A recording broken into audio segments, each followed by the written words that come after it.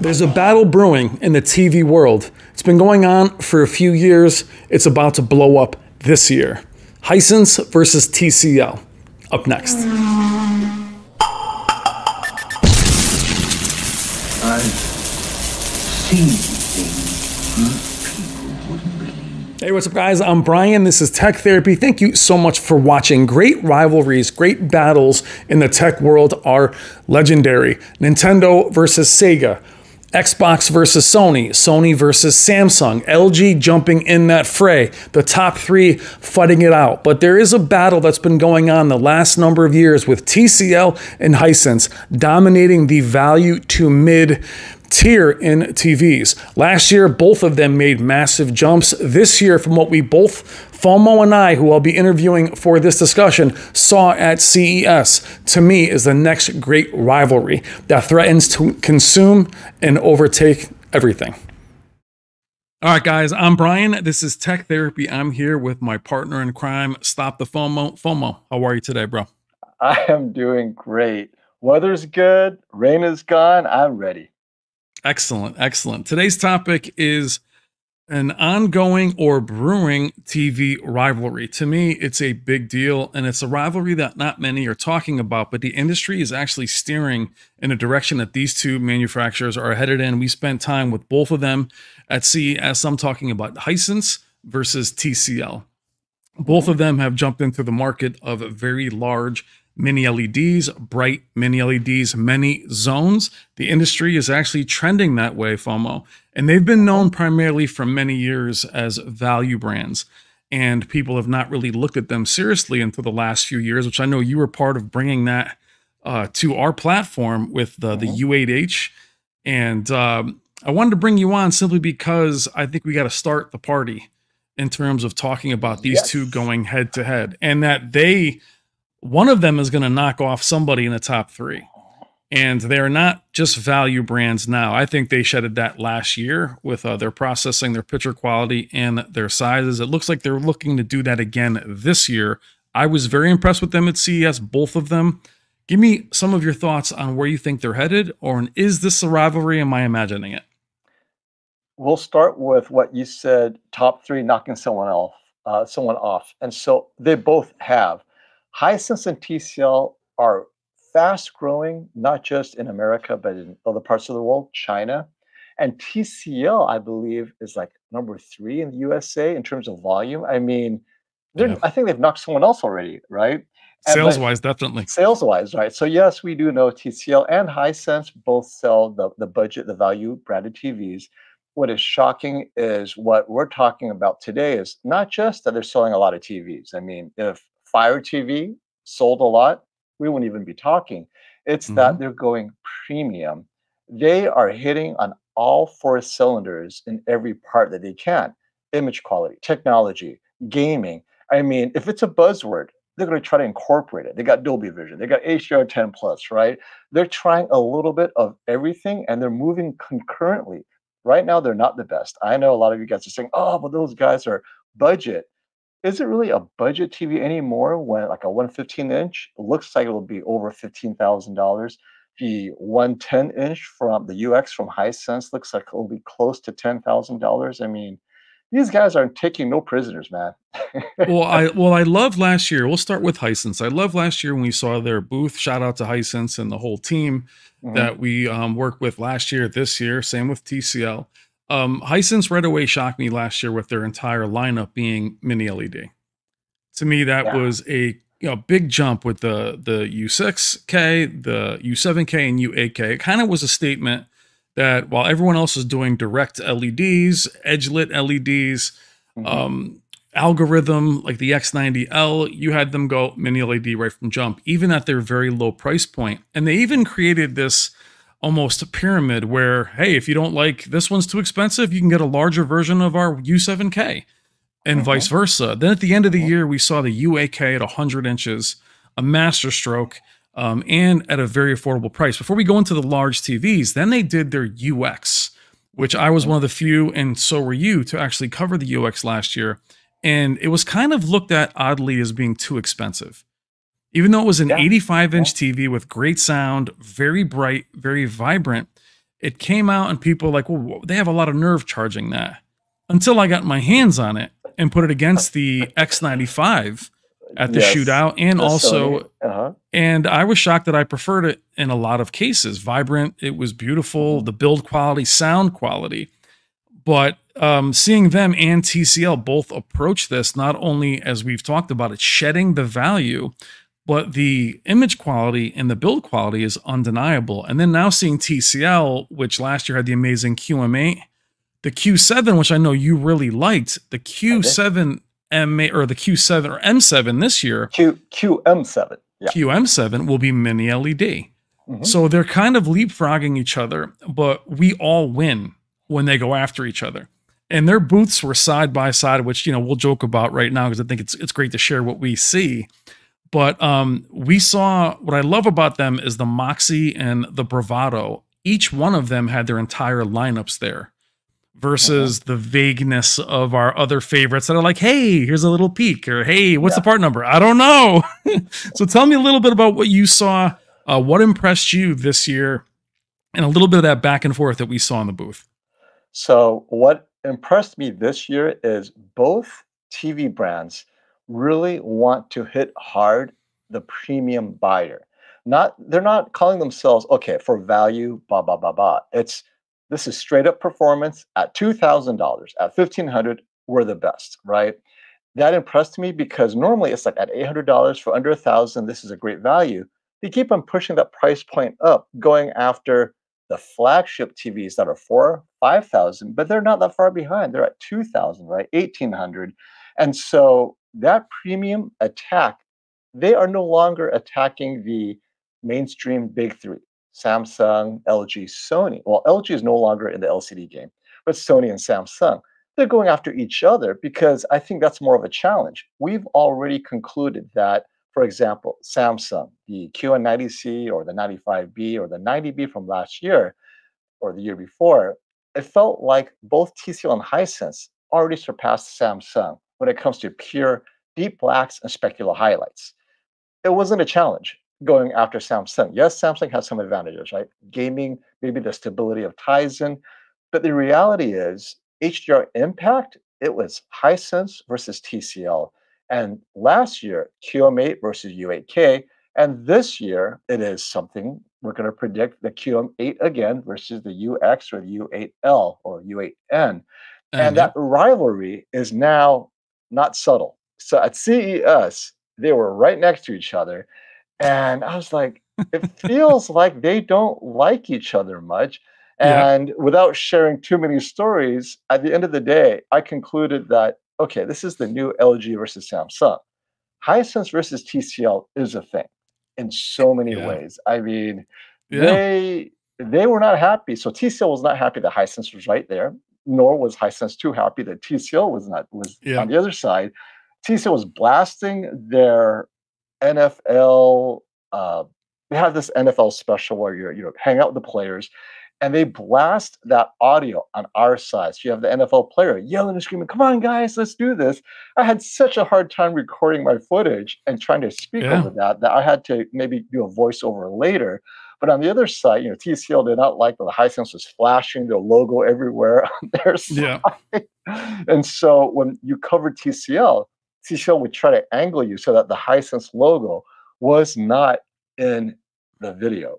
So Yep. both sides did not like having the other even be mentioned in the same breath because they want to win this this race yeah. and by yeah. winning this race, we win as consumers because they're pushing Absolutely. the envelope of performance incrementally. And Yeah. each year they get a little bit better, a little bit better. But where will they be in two, three years? Well, and I think they're almost there, FOMO, simply because as we saw Sony's angle with the 4000 nit reference monitor, Mhm. and obviously with very very affordable large TVs that we've seen our own communities in a lot in our last number of live streams that we've done on your channel, they have really dominated the topic, even if the topic wasn't about large TVs. I believe we did a QD OLED stream about the S95, and the majority of those questions were still about 100 inch S5s and S4s and a U8K and a U7. And so I think that really, and we talked about that maybe taking over projectors, But the fact that they're going to have, and I know TCL has this 48 inch all the way up to 100 inch with like the S5, they have every size covered at every phase. So here's here's your your bargain, but your bargain one also has uh, great local dimming. Where before, if they had a large TV, the local dimming really suffered. So everything is pretty good to amazing. And then you have Hisense on the other side, where last year all mini LED.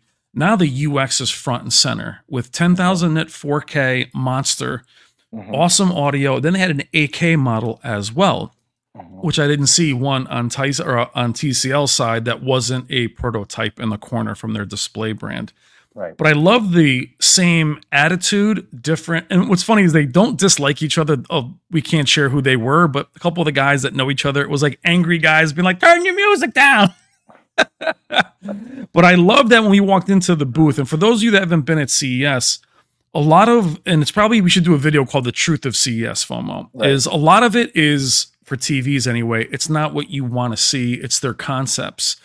Not so with Hisense and TCL. TCL was just naked. Anything they had was like, here's the best we have right here, and here's this one, Yeah. here's that one. Then they had a great gaming setup. They both had great surround sound demos. I would say Hisense was really impressive. Yes. TCL had a, um, a different one. Uh, they had really cool projectors, at least on. So they had different things. FOMO. Uh, Hisense, I'd say, had better or more impressive projectors.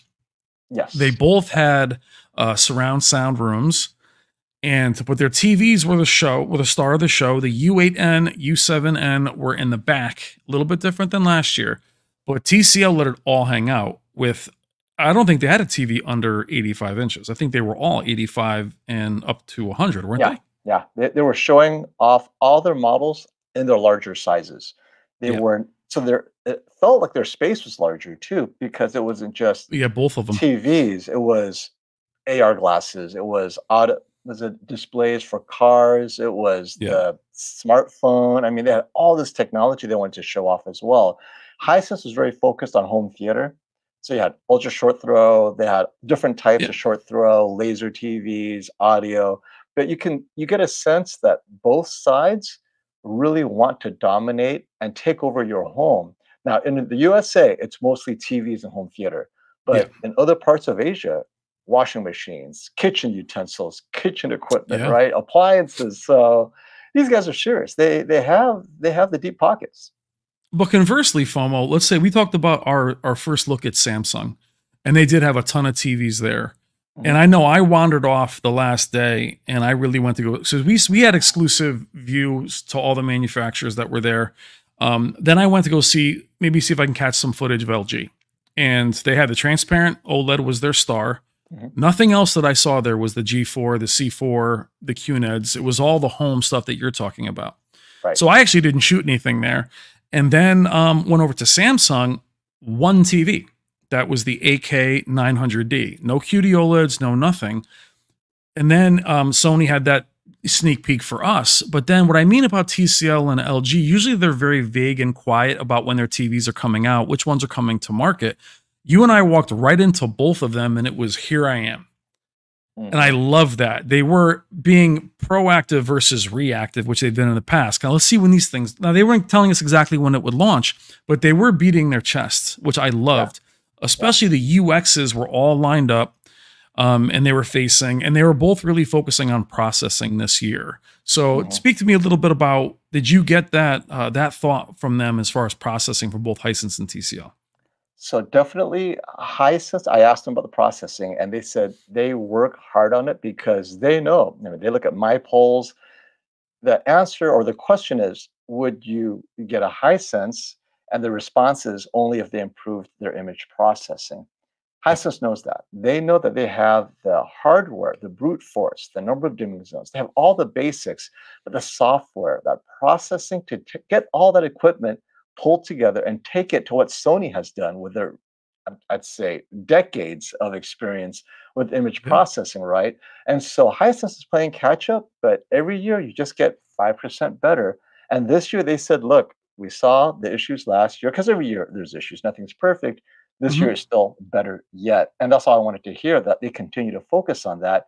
TCL, although they mentioned, you know, well, if you have some processing, sure, it's improved, but TCL feel it feels to me like they know their market. Their market is pop, bang, like Brute the force. QM8 Yep. last year, right? Was just Yeah. so the colors are saturated, deep blacks, great contrast. They don't care that much about I say color accuracy out of the box. It was off. You couldn't really calibrate it back in, but Yep. they didn't care. They sold more TVs than they ever did last year, and they're going to run with it. Whereas Hisense is the one. It feels like Hisense is more like I don't want to say they're more like Sony because Sony would be very offended, but Hisense out of the box is a little bit more accurate, a little bit more about shadow detail, which is very interesting because TCL is more like Samsung was what six years ago.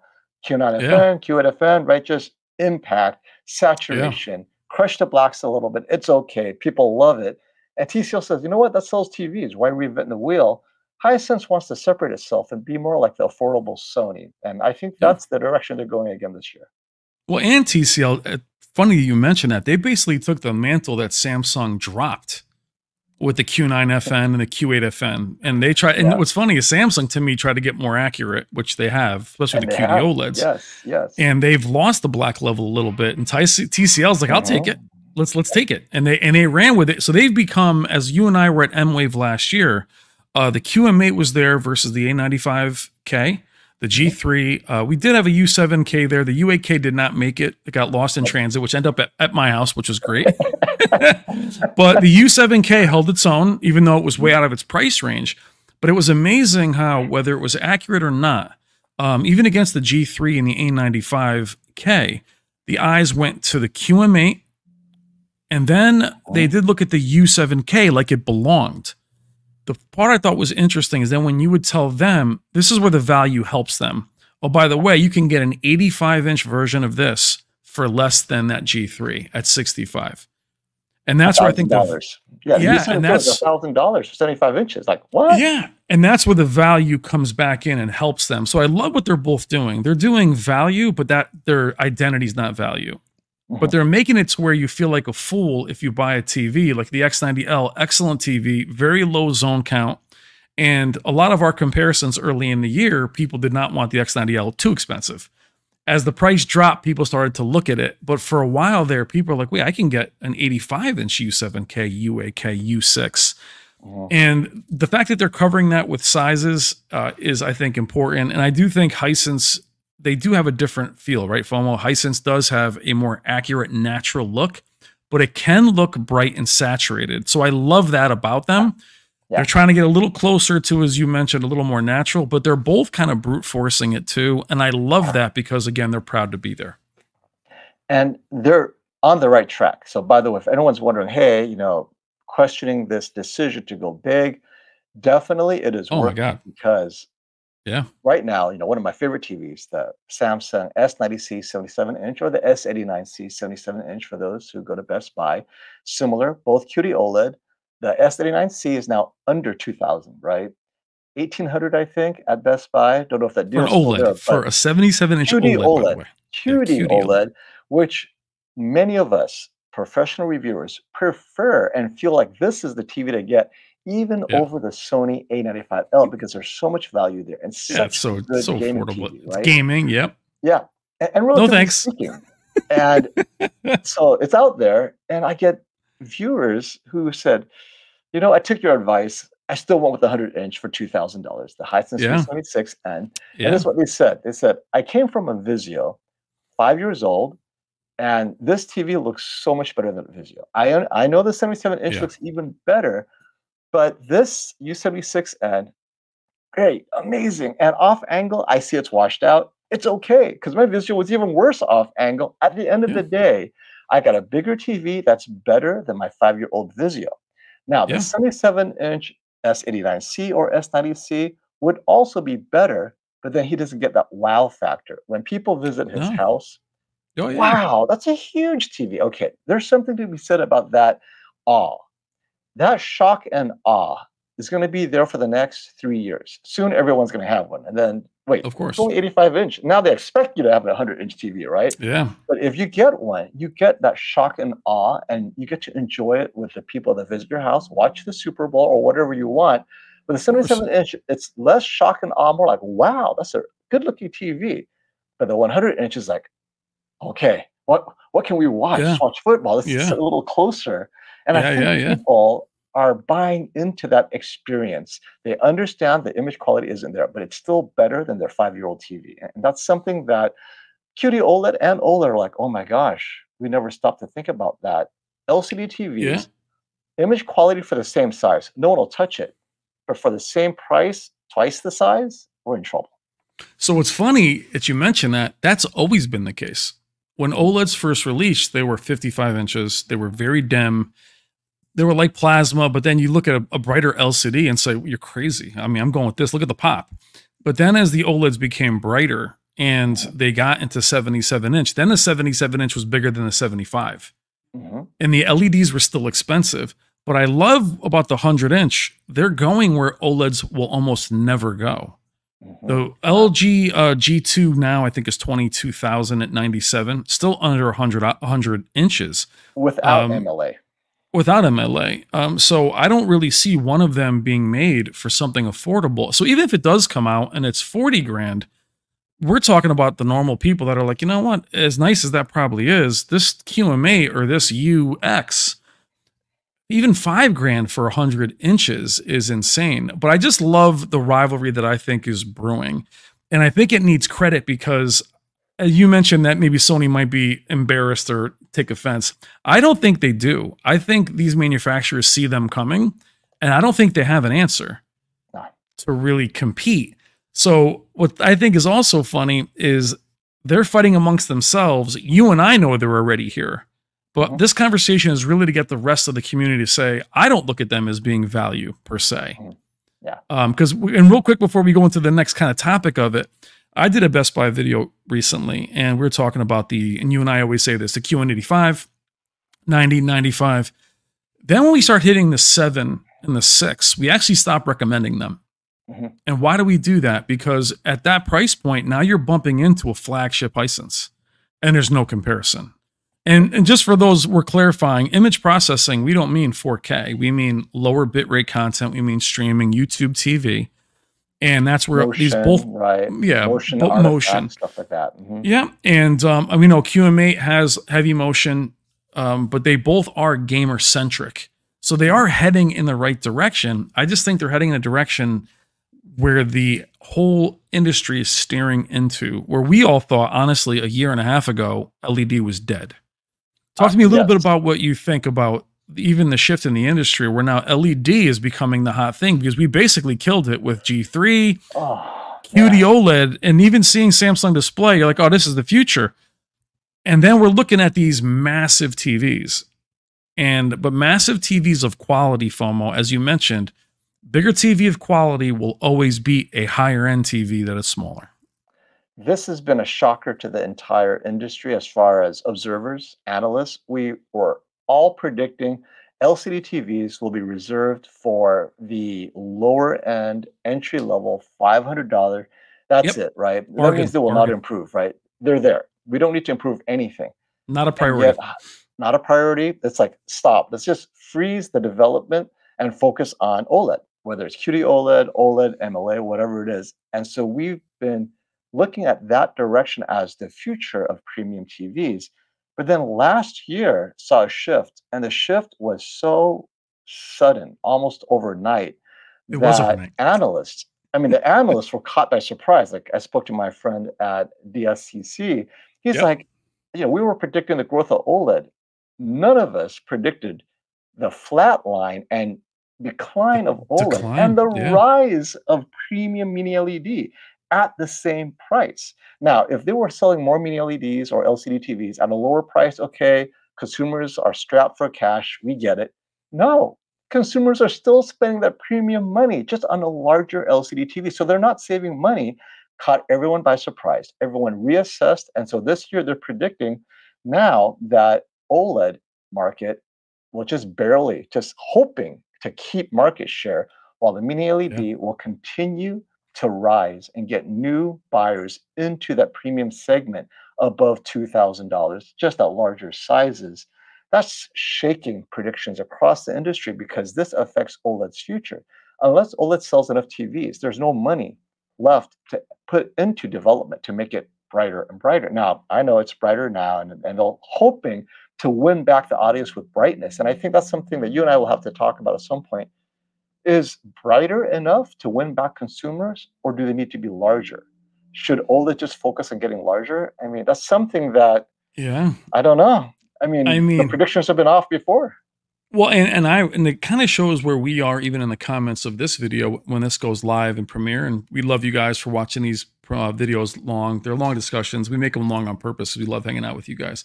But if you watch where the where the community talk was a few years ago, even the enthusiasm and where it was headed for the enthusiast was OLED, OLED, OLED, QD OLED, MLA. They don't want to even look at a WRGB.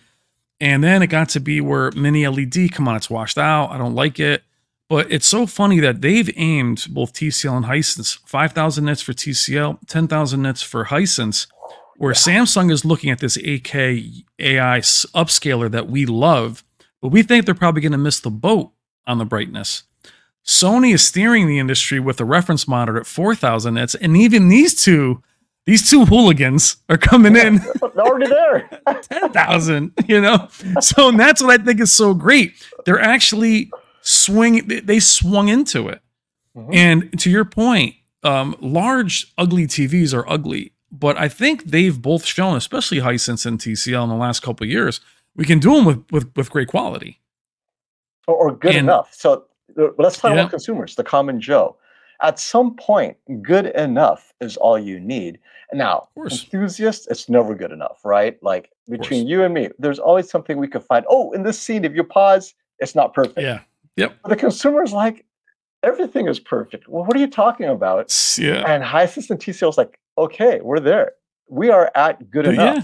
Let's get bigger. Let's get cheaper. Let's you know, Yeah, but how this feature. bef- before how about viewing angle? When everyone's like, "How's the viewing angle?" I'm like, "It's 115 inches. Where are you going to sit in the backyard?" like, where do you think the sweet spot is? And you know what's funny is I know we, we caught this in your video and part of my TCL video where it was viewing distance. And it was shocking, even though I think 77 is a good size. This is 83 behind me, and it looks like a iPad because I'm Mhm. 20 feet away from it. Mhm. But I think people are, like you said, they're coming from smaller TVs. They're like, hey, I don't think I need that. And then they, I, my point is, I see them chasing the size and pretty good picture quality or really good picture quality. But I like that they're also going bright, immersive, vibrant. That way you get that, um, like back by back with the Q9FN, the HDR impact. And OLEDs, as beautiful as they are, really just can't compete with all of those components. They can't get larger than that. I mean, they have we only have an 83 inch MLA this year. Uh, we're looking at probably six or seven thousand at launch. We're Easily. guessing Yeah. Yeah. um, where you might be able to get a 110 inch Hisense for a little bit more than that. That's really hard. 20 something inches and then 10,000 nits. Yeah. And in a bright room, it's going to look amazing. Yeah. I mean, I think it's a great rivalry that we should start talking about. Where do you think, as far as consumer opinion, what's really going to drive the opinion of both these brands to be able to shed this? Um, I call it brand uh, prejudice. It's a strong word. But for any of you guys watching that have been in home theater for many years, your favorite brands were all the crap brand at one time. They were all the outlier. How long do you think it'll take for them to shed this? I think they've already shed it, shed it because when you and I go shopping, forget TVs, right? Shopping for stuff that we really don't don't know about very well, like you know, consumer. The average consumer shopping a TV is as lost as I am shopping for a microwave. Like, what what are these microwave brands, right? Yeah, what So are the do I do? I, right. what do I do? I go to the star rating, right? The the the reviews, and I look Yep. at the ones with maybe 800 people that bought it, a thousand people, whatever. Look at the average star rating. And I start reading the comments. I ignore all the ones about the retailer, you know, messing up on the delivery, right? Just about the quality of the actual product, the use, and, and how they enjoy using the product. Both Hisense and TCL, the U7K, the Q7, average 4.6, 4.7 stars. That's so impressive to me. Yeah. And I'm thinking, you know, they're there. Because normally, I'd say three, four years ago, that'd be like a 4.2, 4.3. Yeah. yeah. Now they move their way up because consumers who don't go to YouTube to watch reviews, they just look at the stars. Wow. Yep. It's big, it's inexpensive. 4.6 stars, good enough for me. It's not good enough. How? I mean, do they want five stars? Yeah, get a Sony. Yeah. Twice as much, five stars, and then they read the reviews. You know what? I'll just take the Hisense with 4.6 stars. But you know what's funny? that. Stay right there because I think it's there for this reason too, FOMO. When you have to, when you're Samsung, Sony, especially Sony and LG, when you start hearing how do they justify the price, we didn't hear that much a few years ago. Now you're hearing more like the A95L. How are you justifying that? Well, I think having these guys chilling in the room with, you know, like I said, you and I have joked about checking discrete audio while the guy with the sound bar has watched his fifth movie. And I'm like, hey, is this amp working?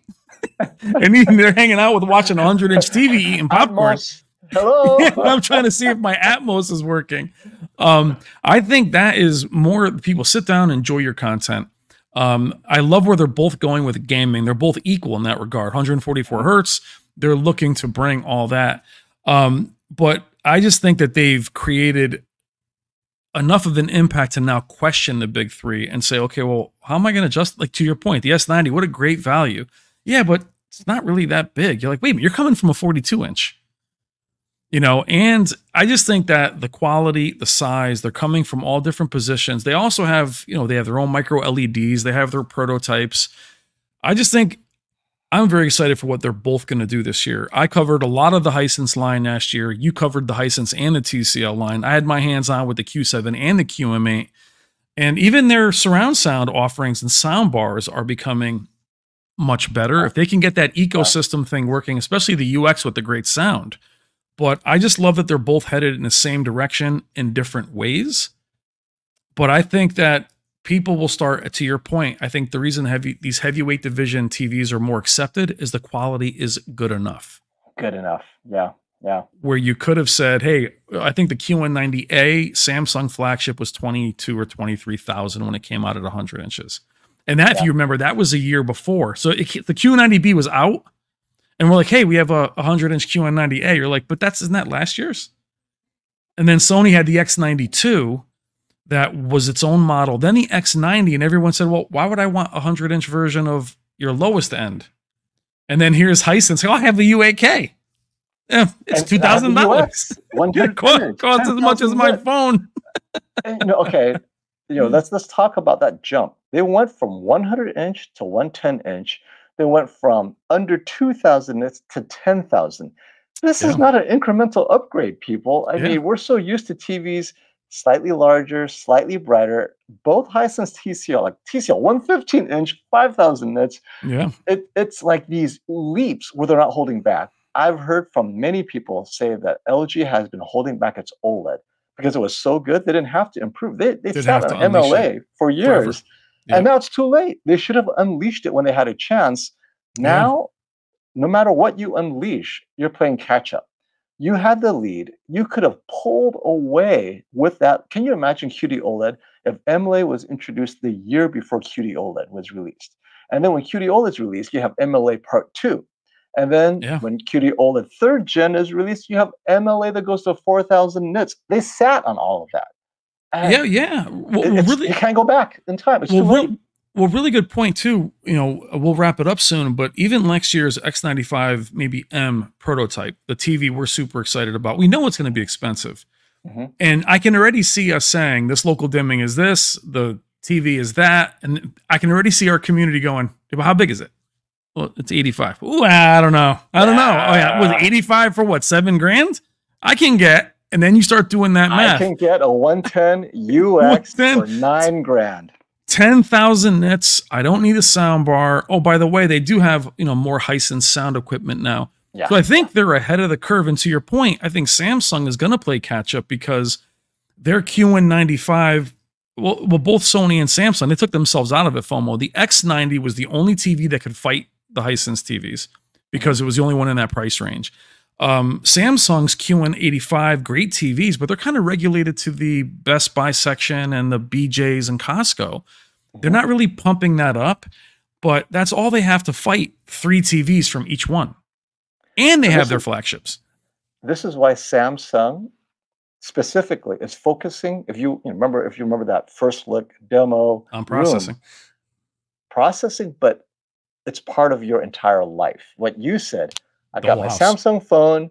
You walk in, boom, it goes Yeah. straight to the TV. You walk away from the TV, boom, it goes to your tab and your Galaxy, this and that.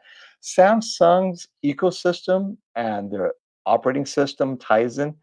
Everything works more seamlessly than any other brand out there, with the Yep. exception of Apple. But then Apple's ecosystem is limited to phone, the Apple TV box, Your watch. speakers, That's your it. watch. Yep. That's it. Samsung, everything. Appliances and tables and picture frames now. Everything is connected so that you have a house that's seamlessly connected however you want, whether it's music, audio, video. That's what Samsung's looking at because look at the other stuff they have. They have, other than the frame, they have the Zero. They have these TVs that are all lifestyle or the freestyle they want you to have this life that is high end living and it's Mhm. all connected. You're buying into that family of products. They're learning Yeah. from Apple, right? So I think that's how they're going to separate themselves. They're like, look, we're going to copy Hisense TCL. Our image quality is good enough. We're not Yeah. going to waste another dime pushing the envelope of image quality on our mm. QLEDs or or Well, Neo QLEDs. which they're They're clearly which they're clearly not doing because their processor from the 8K lineup is not going there. So I I guess here's what here I'm illustrating my point. Samsung's QLED lineup to me is very much going to be the same. They don't have the new processor. Mhm. Even the QD OLEDs aren't going to have the new processor. You'll have the more matte finish, which the anti-reflective looks great. It maybe, maybe not. That's going to be on the QD OLED. But they're they're letting their Neo QLEDs just sit out there. And the Samsung, the 4K, yeah. the 4K. Now, the Samsung 900D, which will have the AI upscaler, I can already hear us talking about that TV because I think it's going to be awesome. I know somebody in the comments going to raise their hand and go, "Well, how many nits is that?" Uh, it's 2500. It's going to that's going to be what? That's it. So, to your point, that whole lifestyle thing either sounds great to you or it sounds arduous to you. yeah. And if you're just looking for a TV, you're like, I don't want to give you my email. I don't want to connect this thing. I don't want to connect my headphones. I want, and then here's TCL and Hisense like, oh, you know what I have for you? I got these because they're Mhm. focused on TVs. Yes. Yeah. And that's where the other companies, I think, and even Sony, as much as you love what they're doing, they simplified their lineup last year. X93, X95, one size, Mhm, uh, no 55 inch TV except for the X90L. So mhm. they already, you know, no mossed it and said, uh, you know, go with these other guys. And we did. I, and I see where Sony's going. So so every so their identity is becoming more clear. Sony is like, look, we are for the cinema purists, right? Yep. If you love movies, any of our TVs will deliver that end-to-end consistency, meaning end to end. We start with a Sony camera, a Venice, a Burano, whatever it is, or the FX3, and then Yep. we go to production, Sony's mastering monitor, right? Post-production, grading, Every leg, and then every with that, you go straight to the TV, end to end. You're part of the cinema family when you buy a Sony TV. If you love movies, you're paying a little bit more because you have this ecosystem from production to post production to you, the consumer. Get into it. So if you have a Sony camera, you're going to get a Sony TV. I mean, it's it's that consistency end to end, and they have a you know Sony AVR, the new one that was just released last year. So Mhm. Sony has a niche, and they're just going to focus on that niche. They they don't want to be a TCL. They played that game, they lost. They don't want to be a Hisense. They don't want to be a Samsung. They don't have an ecosystem. Very niche cinema purist, and they're okay with that. I, I see it. They're they're embracing it. They're not going to try to be anything other than what they are at its core, and I think that's great. But you know what you just did? You just labeled all three of the big three as niche and heading their own little thing. Think about what you're saying for a minute. They're all heading in their own small corners, though they're the leaders. LG has the, I think the G4 probably be the best TV of the year. That thing's going to come out, and they're like everything. And the QNet's coming out, which I think will be great. It's going to be hard to compete with these other Mhm. TVs. Yeah. Then you look at TCL and Hisense, who are like, actually, no, I'm in the TV business. That's what I do. And I think that's crazy. But what people don't know, and, and they might know, and we'll finish off with this, it's getting late. Um, CES, right away, you saw their commitment. I believe, you know, obviously the NFL for TCL, and I think the NBA for Hisense. Yes. So they spent that money. Boom hmm the booths right off the bat massive not uh, other than tcl having the waterfall which was cool it was really about their real products Mhm. Um, Hisense did show a couple 75 inch UXs that are going to be in Europe alone. I think. I wish they were coming here because they were very Super thin, thin. Yep, that was super thing. thin. Um, so hopefully, and you know, that's the kind of influence a lot of these videos have. We show there's a demand for that. They may bring something like that over, but it was all business. The U8N, U7N, um, also not just incremental upgrades, but actually, I shouldn't say they're not incremental upgrades.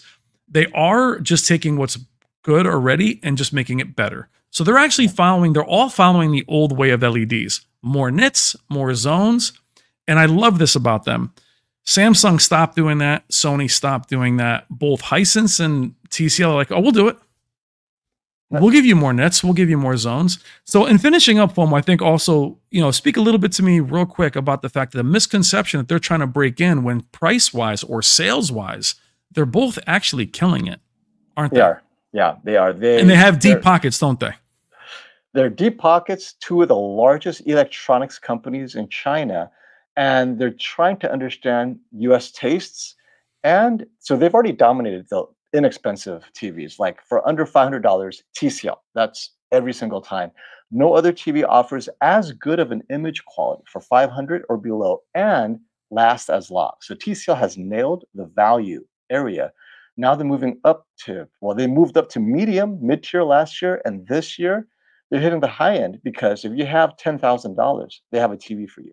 If you have twenty thousand, they have a TV. At five thousand, right? They're trying to hit every strata of your budget, and Hisense is the same. You got ten grand, probably the UX one ten, right? That's my guess where it's going to be.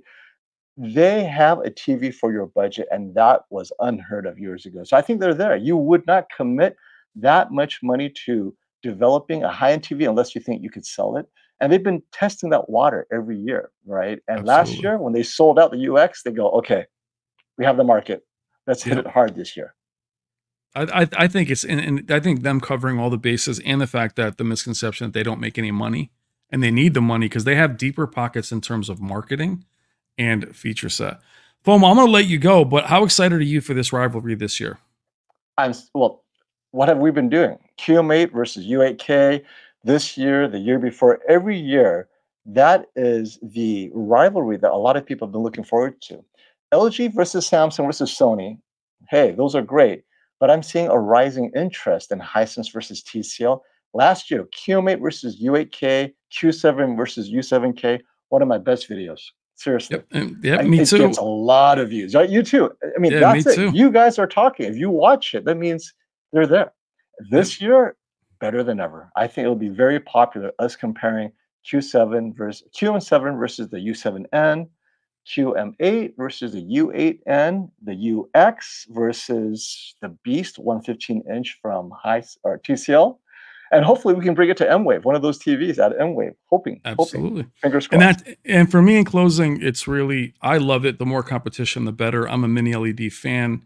But when it comes to getting your money's worth, that's great for everyone. But also mm-hmm. having more competitors in the field is making everybody else not be complacent. You can already see the last couple of years where every company was kind of chilling a little bit, whether it was OLED, less innovation. These companies are going to push the needle and make the need for more innovation.